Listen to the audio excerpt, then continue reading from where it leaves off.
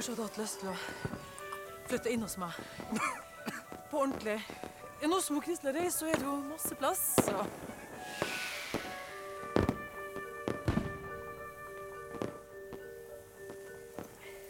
Hva ønsker du deg for det nye året, da, Kim? Nei. Nytt år, nye muligheter.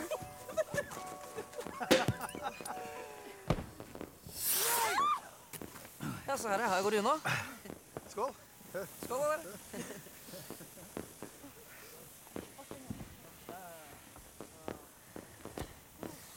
Godt nyttår, da. Godt nyttår.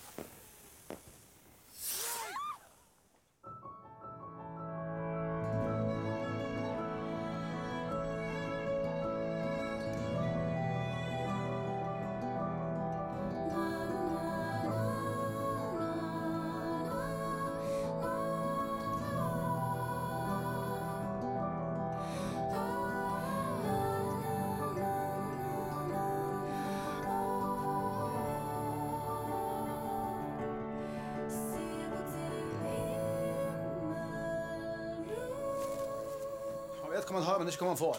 Du, du har en kvinne som elsker deg, som vil ha deg. Så du må forte deg, sånn at hun ikke ombestemmer seg. vet du. Men Det har skjedd så fort. Fort! Du er jo langt over 40 år, jo. Det er jo din første samboer. Hvor mange samboere har du hatt?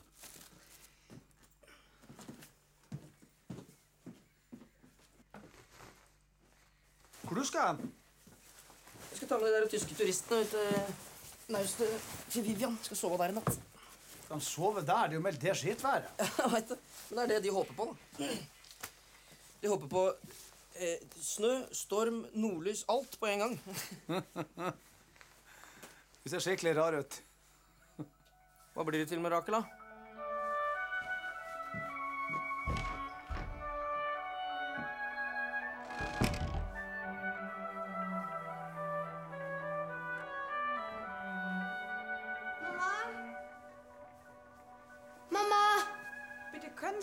Sie? Uh, put wool on first. Mm. Mamma, jeg finner ikke matpakken min. Men du, den er vel her et eller annet sted? Nei. Auf, auf eh, radio. Eh, snø und storm. Eh, ganske våke.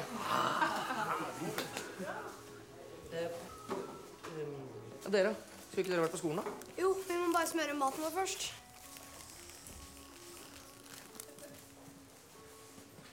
Du, Jeg tar bare også og installerer dem, og så får vi bare håpe de blåser på havet. Peter. Går det bra, eller? Ja, ja, ja. Ja. øh.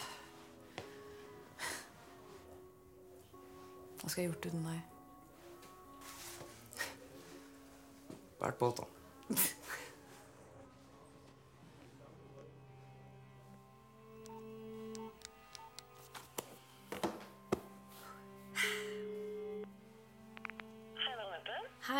det er meg.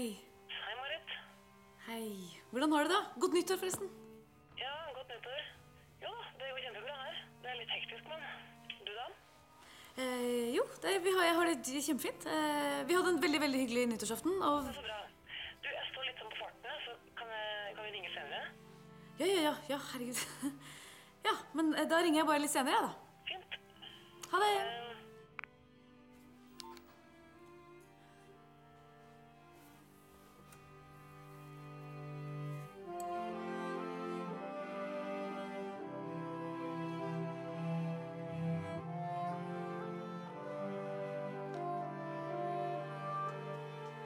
Du er en sånn som liker å sove lenge om morgenen, du. Ja, men uh, jeg skal vel tåle at du står tidlig opp. For da kan jo du lage frokost til meg. Det er klart det. Men jeg går ut ifra at du står for middagslaginga. Ja, helt fint. For da blir det jo jeg som bestemmer hva det blir. Hva står jeg for innkjøpene, da? Ja, men det er klart du skal det. Så skriver jeg bare handleliste kvelden i forveien. I lag. Ja. Da flytter jeg vel inn, da. Ja, det. Stakkars Britt. Stakkars Britt, hør på mor di. Allvite. Hei, Marit. Hei, godt nyttår. Du, Marit. Jeg har så nyttårsforsett at jeg skal slutte å strø sokkene mine rundt i huset, men Karoline mener at det ikke er bra nok. Ikke sant? Et nyttårsløfte må være litt større, liksom. Nei. Jo, jeg for eksempel, jeg har bestemt meg for at jeg skal bli mer positiv i året som kommer. Ok, Så det er ikke verre enn det? hæ? Greit. Da bestemmer jeg herved at i nye året så skal jeg Jeg skal bli et bedre menneske. Akkurat passe vagt nok. Mm. Ja, du da, Marit? Hva slags nyttårsforsett har du? Nyttårsforsett? Eh, nei, jeg... Ja, Noe må du da kunne bli bedre på, du òg. ja, det er det sikkert. Uh, jeg, jeg glemte at ovnen står på, jeg, så jeg må nesten gå og sjekke det.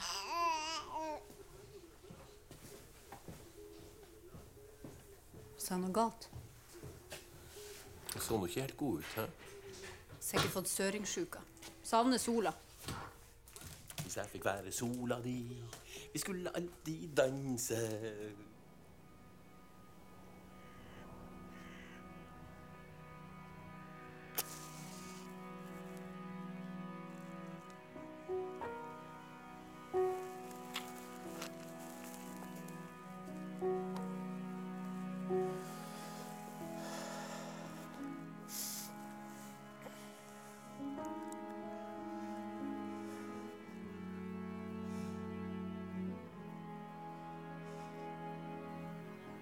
Jeg tror jeg setter meg ned her litt. Vi ses hjemme.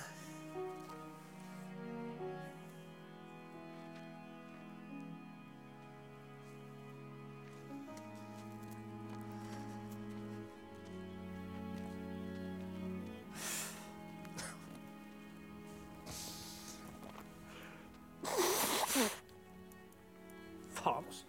Det er ingenting å skjemmes over. Jeg gjør ikke det. Det er bare Det er bare noe så sårt over mannfolk når de blir gamle. De blir som barn. Som, som unger som du har lyst til å passe på. De blir unger til unger.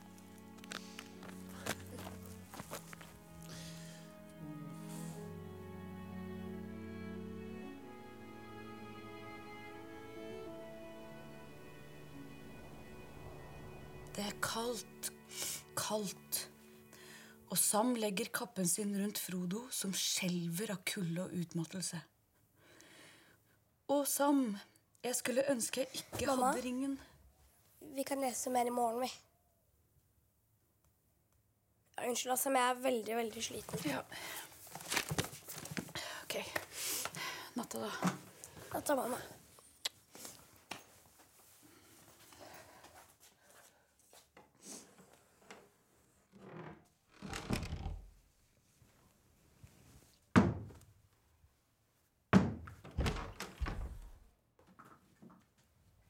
Iris. Mamma er bare glad når Kim er her. Vi må få mamma til å bli kjæreste med Kim, og da flytter han tilbake igjen. Og mamma blir i godt humør igjen, og Kim blir lykkelig. Ok, Robin, jeg skal være ferdig med den særoppgaven her til mandag. Har du noe mer, eller? Ja, men hør, da.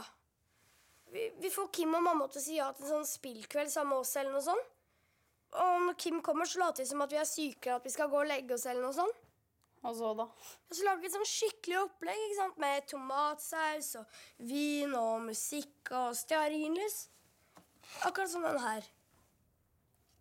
En belanotte. Robin, du er jo helt fjern. Finn på noe bedre, du, da. Du. Om mamma ville hatt Kim, så hadde de vært kjærester for lenge siden.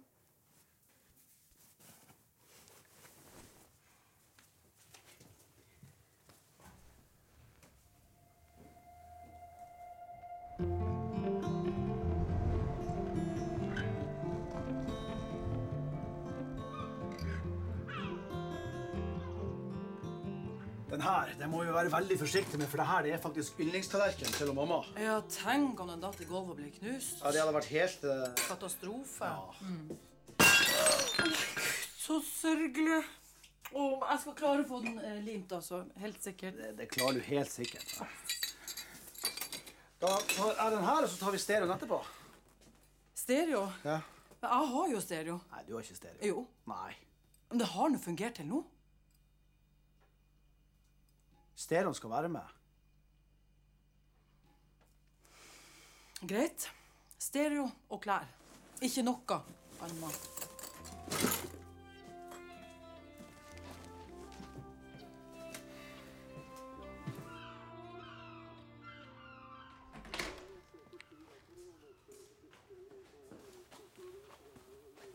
Mamma, vi har en oppgave på skolen om romantikk, og så bare lurte jeg på om du kunne hjelpe meg litt? Om romantikk? Ja, for eksempel, hva er den mest romantiske byen i Europa?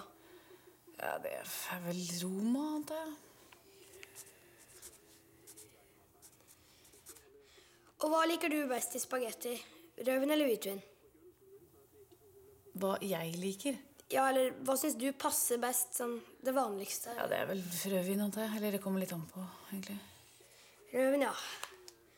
Og hvem vil du helst strandet på en øde øy med? Du, Robin, Er ikke det her din oppgave? Det er jo ikke jeg som skal svare på de spørsmålene der, da.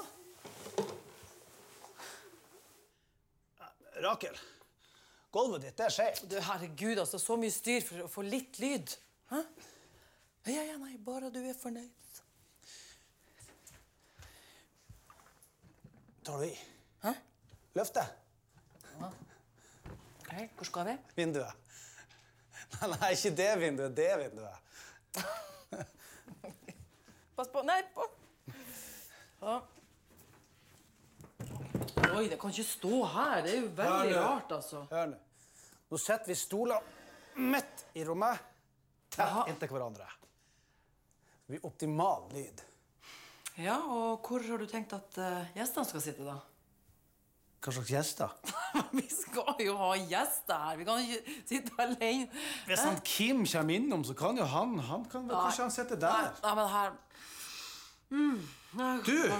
Nå er Oi, klokka Jeg må båten. Nei, nei, nei, det her er ikke ferdig debattert. Ja, hallo, det er Rakel.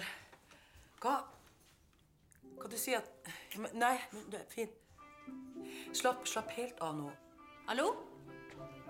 Hei. Hei, hei. Hei. Du har gjort av tyskerne? De er eh, nede på Sørbergan. Å nei. Jeg som hadde tenkt meg en urban formiddag med espresso og utlendinger og hele greia. Espresso kan du få. Ja. Er det ikke det de drikker der nede i Oslo? Jo, blant annet. Det må være skikkelig koselig å sitte sånn på kafé med gode venner og slappe av. Men eh, jeg tror at mange blir ensomme for at de såkalte vennene ikke har tid til hverandre i et sånt stress som det er i byen. Ja, det er mulig, det. Da er det bedre å chille out her på Ylvingen.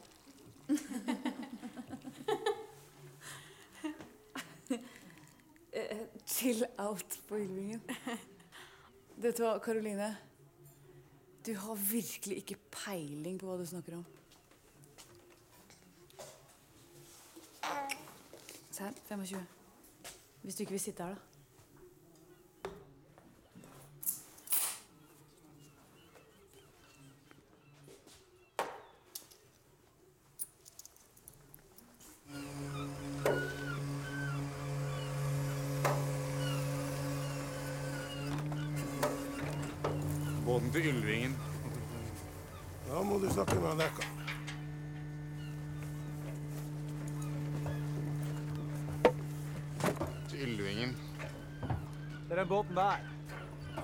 Er kaptein.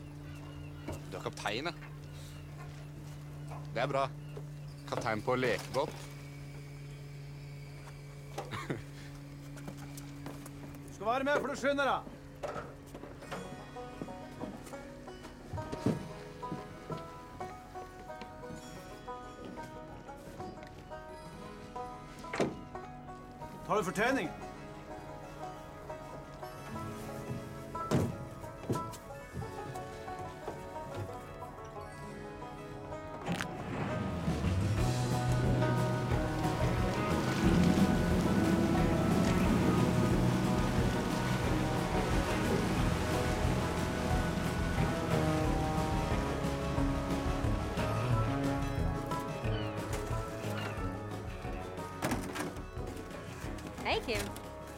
Hei sann.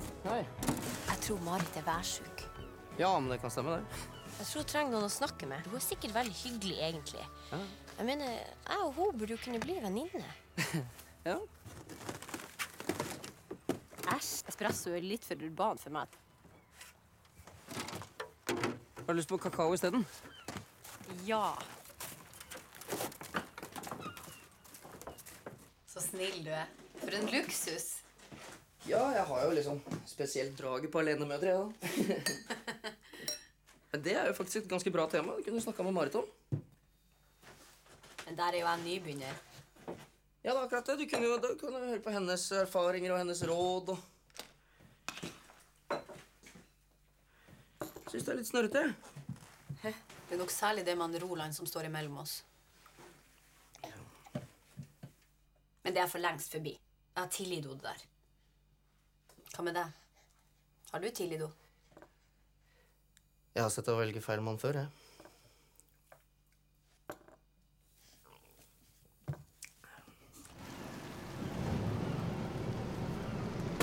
Hopp!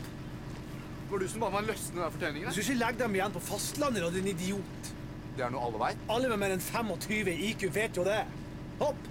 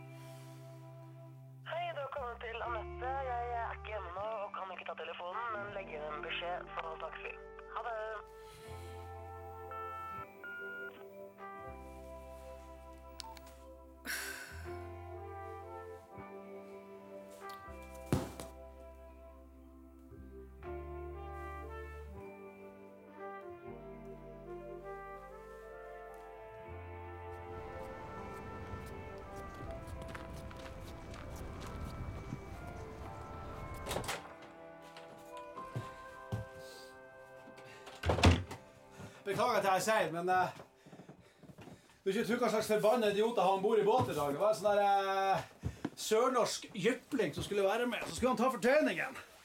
Jeg tror faen ikke at han løsna fortøyningen min og la dem igjen på fastlandet, sånn at jeg måtte jo da jeg måtte jo da snu og dra tilbake og hente dem. Forbanna idiot.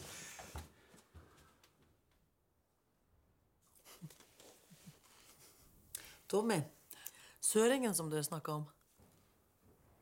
Jobber jo ikke i barnevernet lenger. Hva noen andre folk ta seg av han der? Nei, de kan ikke det. Han Tommy og jeg har en veldig spesiell kontakt.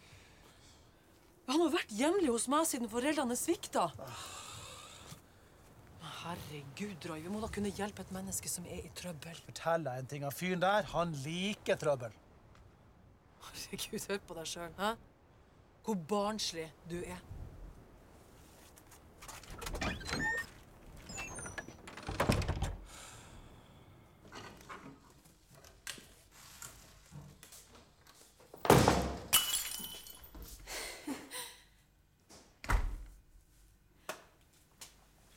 Pappa tenkte kanskje du kunne trenge den her. Ja, Mangelen på dagslys kan jo bli ganske tøff for dere søringer. Og da kan man gjerne bli opplagt og, og gretten. Sånn. Jeg, jeg skjønner at du har fått det for deg at jeg trenger oppmuntring, eller noe sånt, men vær så snill, jeg orker ikke å være noe prosjekt for deg.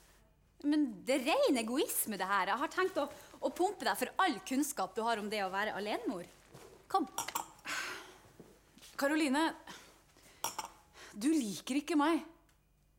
Og jeg er ikke noe spesielt begeistret for deg. Så kan vi ikke heller bare la det være med det.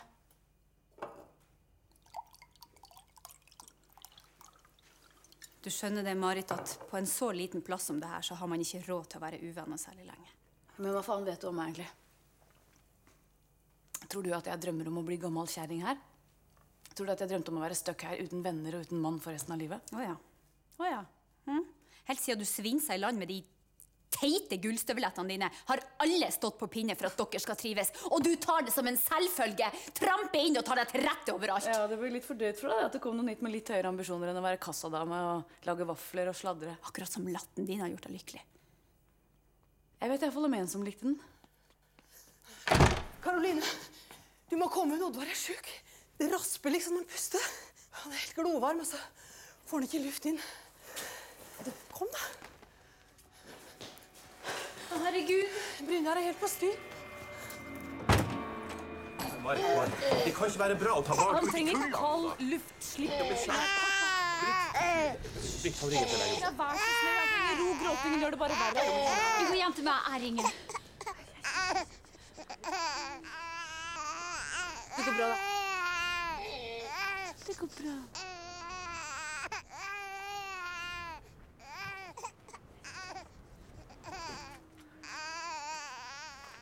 Tror kanskje det gir seg nå. Ja vel. Både Iris og Robin hadde det her når de gjør små falskrupp etter det. Okay. Det høres helt forferdelig ut, men det, det går bra det her nå, Karoline.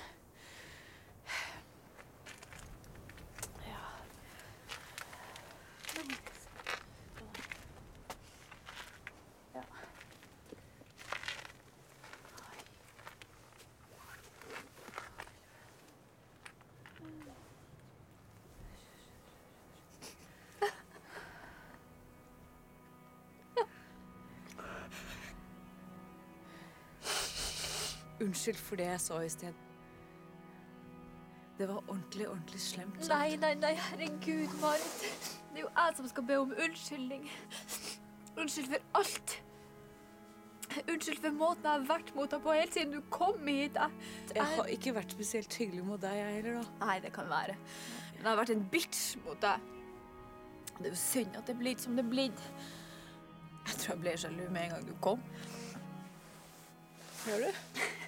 Ja, du var liksom så selvsikker og fjong. Med gullstøvletter.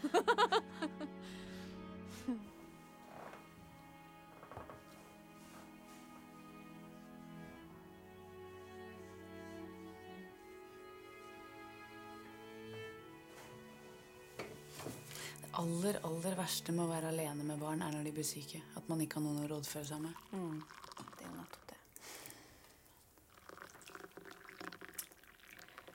Savner du han? For min del må han bare holde seg borte. Det er jo hans tap. Hvor lenge var dere kjærester, egentlig?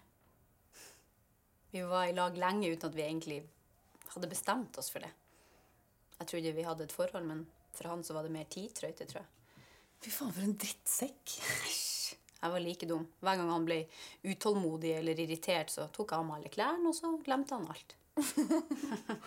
Ja, det tror jeg på. har du hørt noe fra henne? Nei. nei. Ikke du heller? Nei, nei. Savner du han? Nei, jeg savner ikke han. Men uten han Roland, hvordan skal vi da holde oss som uvenner? Jeg vet da faen.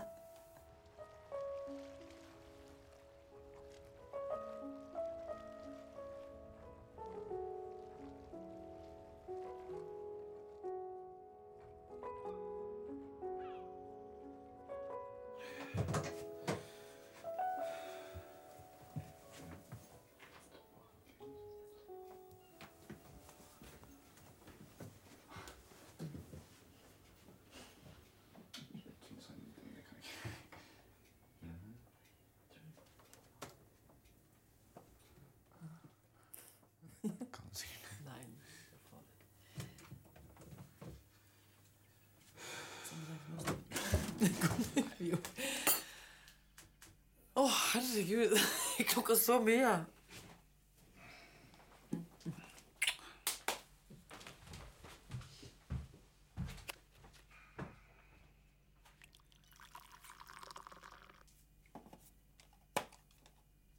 Da er behandlinga over. Du kan pakke bagen. Du, eh, Cap'n Captain Roy. Kan ikke bare gå og gjøre det. vet du. Rakel kommer til å savne meg og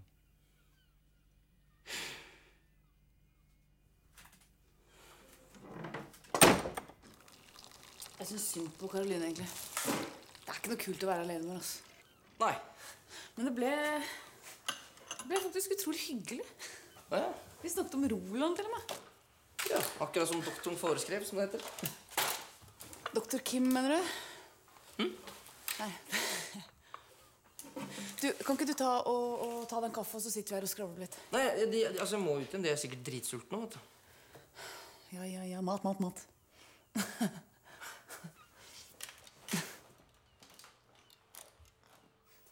Slagordet er 'tenk globalt, handle lokalt'. Og hvis vi vil hindre at eh, Nordpolen smelter og at Ylvingen synker i havet, så burde hver en av oss tenke oss om hva vi kan gjøre for miljøet. Isbjørnen drukner, selen dør fordi vi mennesker gjør som vi gjør. Havet stiger i en fart. Har vi virkelig handlet smart? Jeg tror svaret nok er nei, for denne øya elsker jeg. Bra, Iris. Det her har du virkelig jobba mye med. Kjempebra. Det er jo bare ord, da. Vi burde kanskje gjøre noe. Ja, du har så rett. Det er akkurat det vi må gjøre. Uh, ja. Hei sann, dere har tid med å beklage at jeg forstyrrer.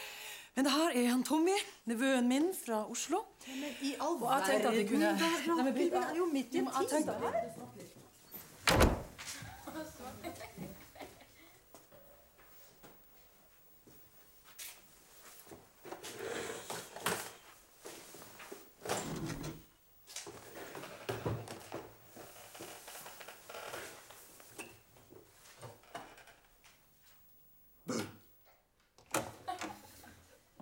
Ja.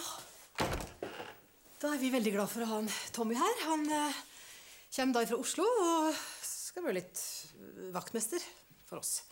Reparere takrenner og litt sånn.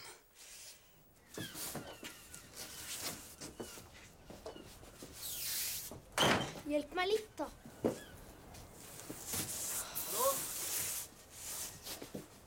Hallo? Ja, hallo? Eh, ingenting. Eller jeg eh, uh, Hvis du kunne Der. Gi meg den skrutrekkeren her. Så, så.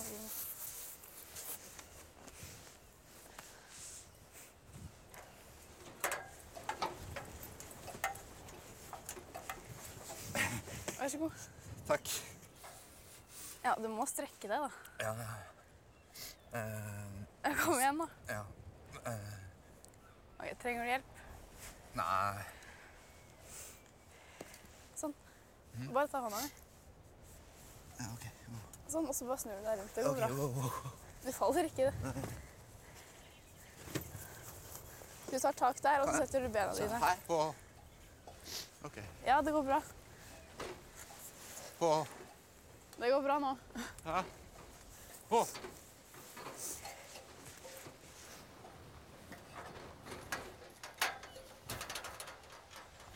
Hvorfor gikk det opp der på høydeskrekk? Men jeg har ikke høydeskrekk, liksom. Det bare Plutselig så kom det helt sånn på slutten her, så Ja vel, så kjipt, da. Ja, eller nei, Jeg har hatt det før. Det går over hvis du bare liksom bla, bla, bla.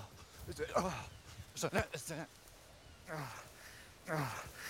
Så da er jeg klar. Ok. Hei. Tommy heter jeg. Iris. Ja, så hjalp han. Du, jeg tar det. Hva var det han het for noe, sa du? Tommy. Han er nevøen til Rakel. Kjekk, eller? Ja, jeg vet ikke. Hallo.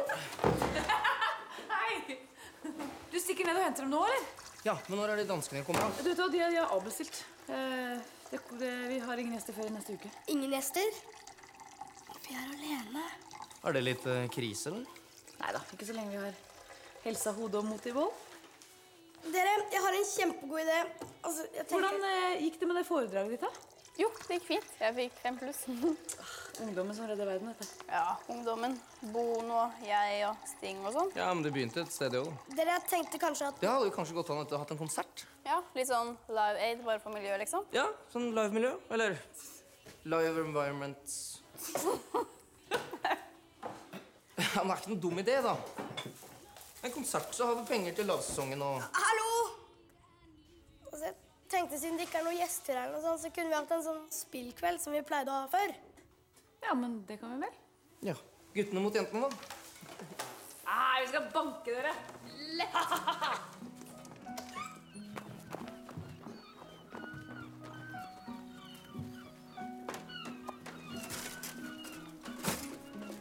Kim. Nei. Å ja, kjempebra. Går du på fylla der ute, eller? Å, nei, nei, det er bare sånn. Premie til førstemann uti, da. vet du. Ja. Førstemann som bader, det er sånn vikingdåpgreier. Går vel foran med et godt eksempel, du, da. Vi får se.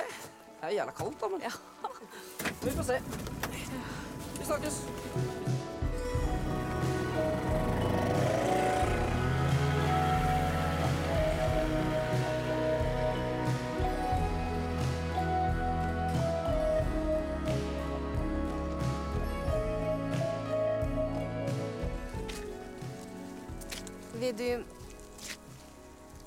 Aldrig förr varit upptagen med att få egna barn. Men nu, när jag har träffat Halle så... Han är så fin. Jag ser framför mig liksom store Halle och lille Halle med varsin traktor. Ah, kurva gillade. Varför er det så i livet at man alltid kommer for sent fram? Jeg skjønner godt hva du mener. Du venner deg jo til det.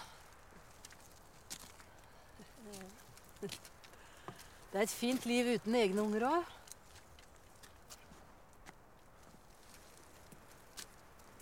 OK, hør den her. Miksa sjæl.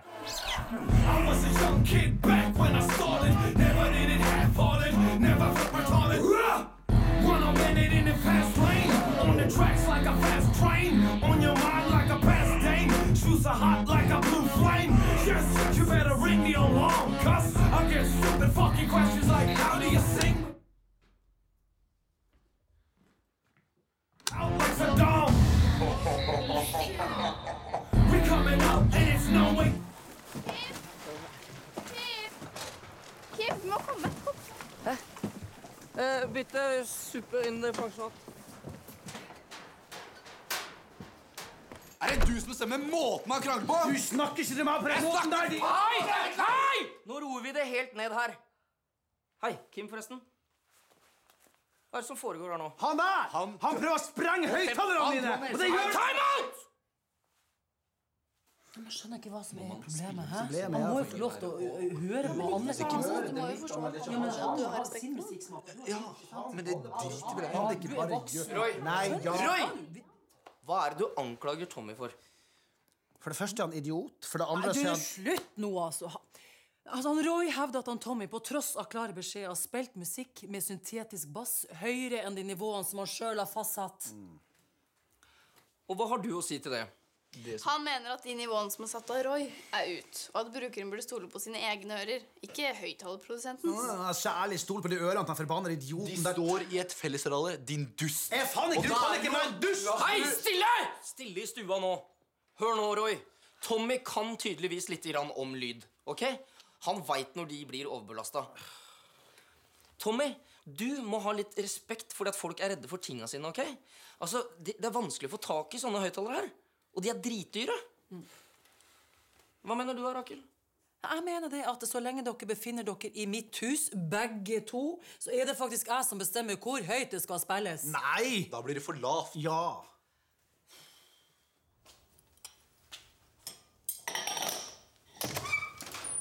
Sjekk hva jeg fikk for å bære bagasjen deres til båten. da. Så bra. Men du vet hva? Nå er vi endelig alene, så nå skal vi kose oss. Nei, ikke helt ennå. Først så skal du gå som middag, og så skal Eiris gjøre klart alt til spillkarmer. Så hyggelig, da. Du har fortjent det, vet du.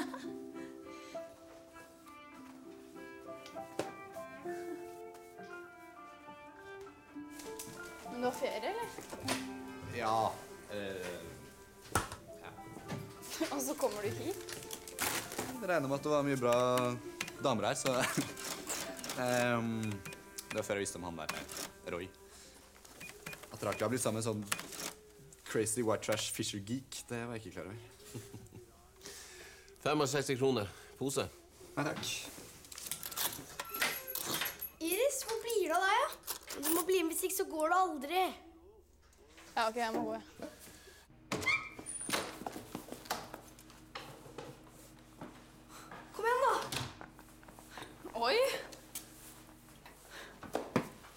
pappa.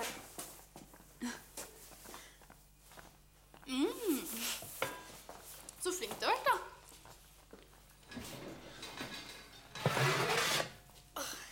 Kjøttballene har jeg laget selv, da. Men aller først så må vi gå gjennom planen. Vi må gjemme alt det her. Vi har laget tomatsaus som henger opp månen. Så må vi tenne stearinlys, og så må du lage kaffe. Kjøttboller.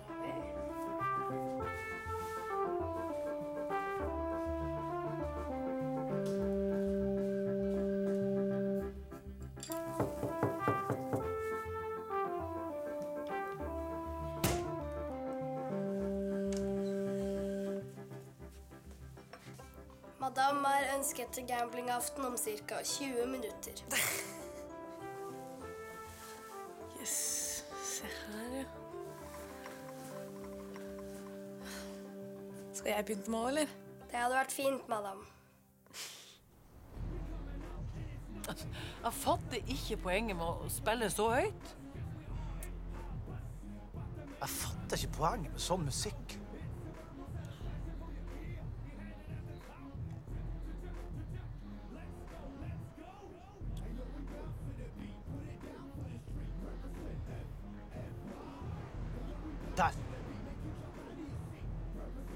Det var han skjøtte. Da er det min tur. Nei, du, det er det ikke.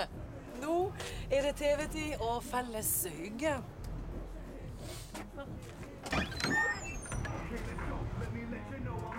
Uh, oh. Nevn tre medlemmer av det legendariske bandet Queen. Ok, følg med nå. Um, Freddie Mercury, Brian May um, Også han eh, Kom igjen. nå. Tiden går ut, tiden går ut, tiden går ut. Eh, eh, J- J- John Dickon på bass og Roger Taylor på trommer. Yes! Eh, Kjempebra. Kjempebra. Vi Dere vant. Vi er vant. dere vi vant. revansj, eller? Dette ble faktisk veldig trøtt. Jeg tror jeg skal gå og legge meg. Å ja, ja, jeg ble også veldig trøtt, så jeg tror jeg må gå og legge meg snart, jeg òg.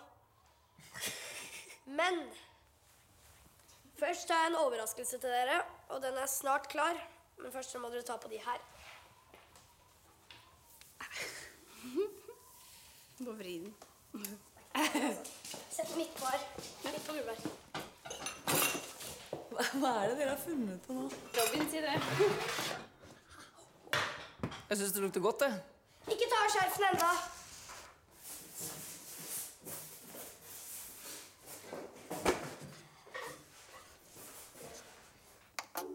Ta av skjerfene nå!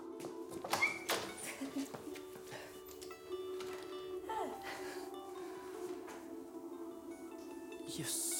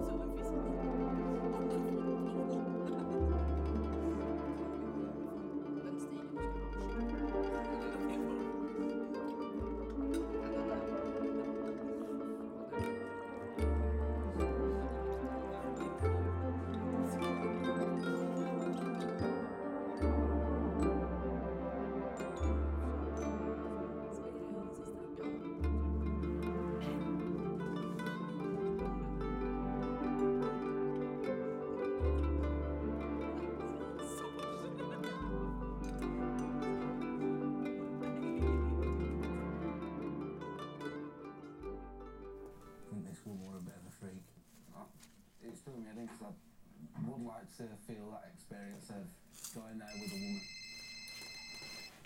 So, it's a bit annoying than being Ja, set, Roger. but My Nei, det er så koselig. Det var lenge siden. Ja. Men hvordan har det gått med han du traff? Hva du sa du til? Roy, Roy, skjer- skjer- skjerp deg! Ta så Legg han bort. La Tommy sin tur. Det. Ja. Hva du sa Nei, gud, gjorde han det? Åh.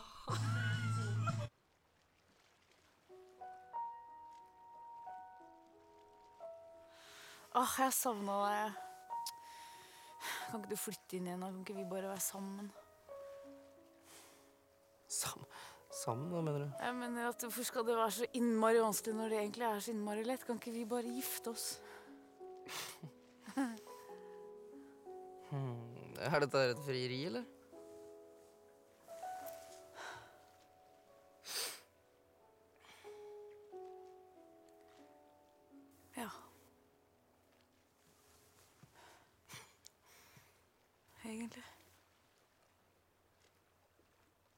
Vet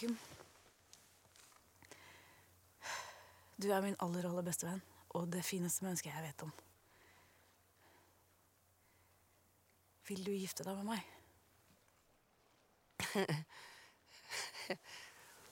uh, ja. uh, Men el elsker du meg? Jeg, jeg, kan ikke, jeg kan ikke tenke meg å leve uten deg. Nei, men elsker du meg? Tror du ikke at det kanskje kommer etter hvert? Nei, enten så gjør du det, eller så gjør du det ikke.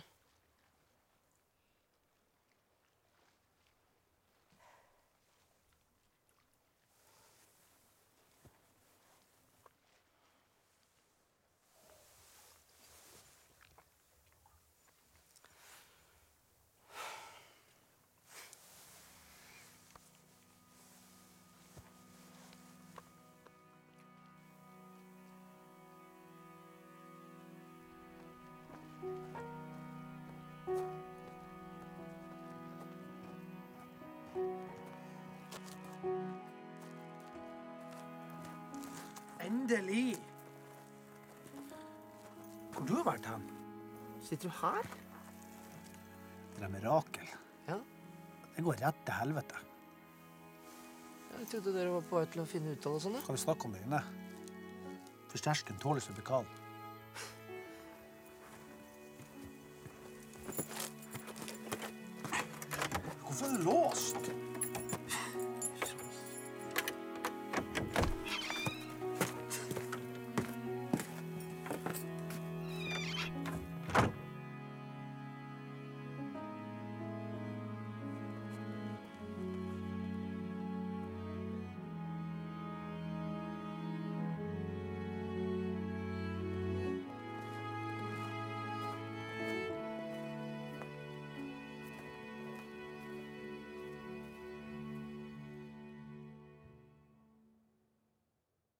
Through a cloud of confusion, Phoenix on the rise, floating down in the valley below.